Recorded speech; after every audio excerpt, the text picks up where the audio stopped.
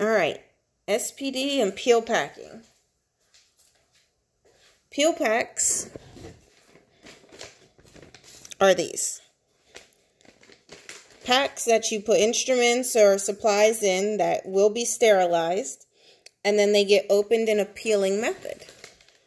You can have items that have already been manufactured this way that come already sterilized, which is indicated by the sterile.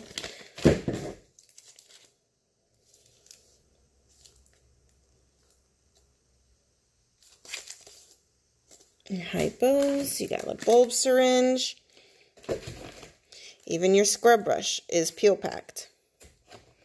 When you do it in SPD or the processing department, you'll have different sized peel packs.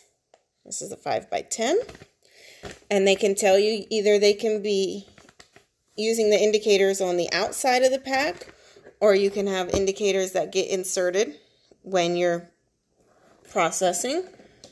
And then some have these that go inside. These are your instrument protectors, which I'll show you how those get used as well.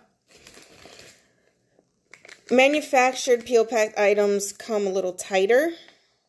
They don't have as much space or as much give. Most of these are done via machine. You see they're very tight on the edge. They don't give space. When you do it in SPD yourself, you're going to make sure you have room. Things are have the ability to move around. Every peel packed item needs to have the date that it was processed, the contents of it, and the initials of the person who processed it, as well as the indicator on the inside, even if there is one on the outside. This is an example of one. This is a 2 milliliter ampule.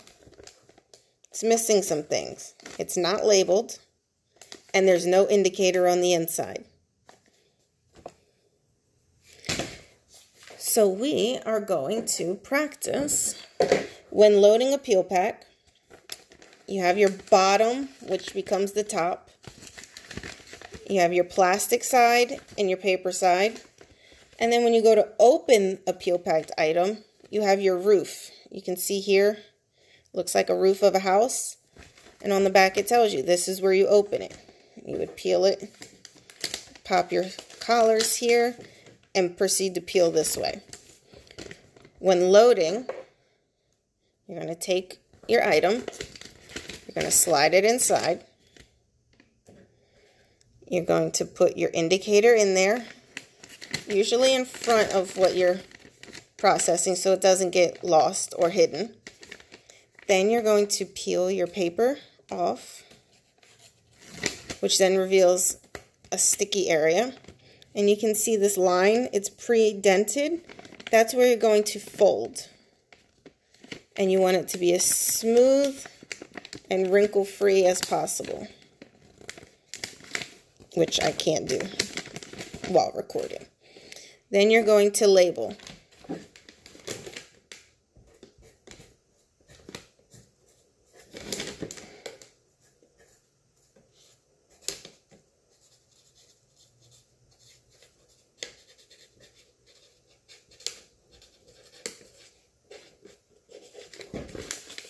Okay?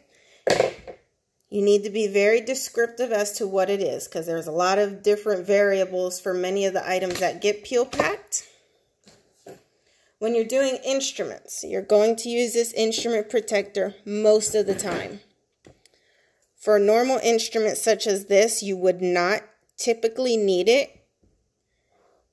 But when you're peel packing, you need to make sure your ratchets are open and it's unlocked.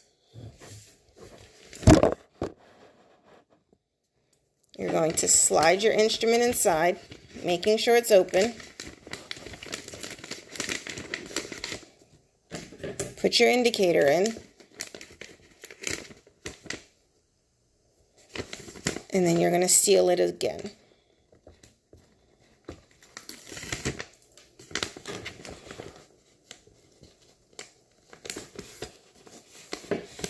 Okay. Then you label it we're going to move on to this one, This would be your scissor. Because scissors can cut, you never know what could happen. So you'd want to load it into your protector. So you're going to go behind and through. So that way your tips can go into this little plastic pouch. Okay. Open it up. And then you're going to take this tab and fold it over. This keeps it from being able to close, okay? This is your indicator. You do not need another one inside. We would try the 5 by 10 It slides in perfectly.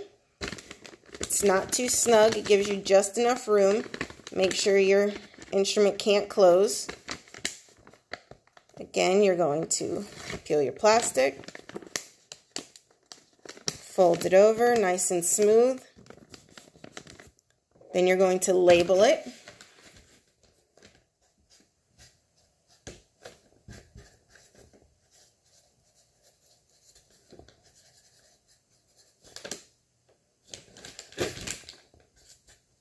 And the initials. And some facilities require double peel packs.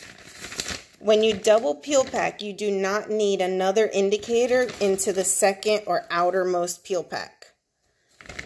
So again, you want to make sure you would have enough room on this one. So I couldn't use the same exact size. I'd have to go up a size. So same process. Peel your paper off. Oops. Fold it.